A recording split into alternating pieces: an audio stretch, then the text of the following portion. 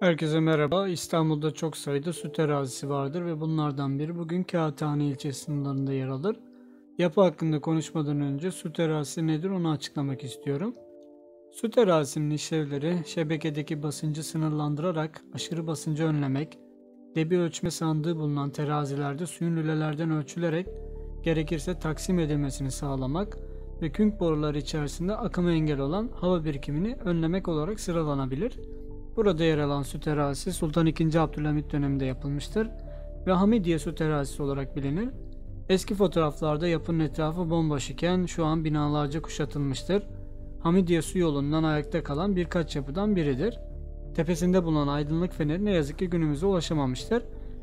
2018'de medyadaki haberlere göre su terazisi restore edilecekti ama görünürde bir çalışma bulunmamakta. Video izlediğiniz için teşekkürler. Tekrar görüşmek üzere.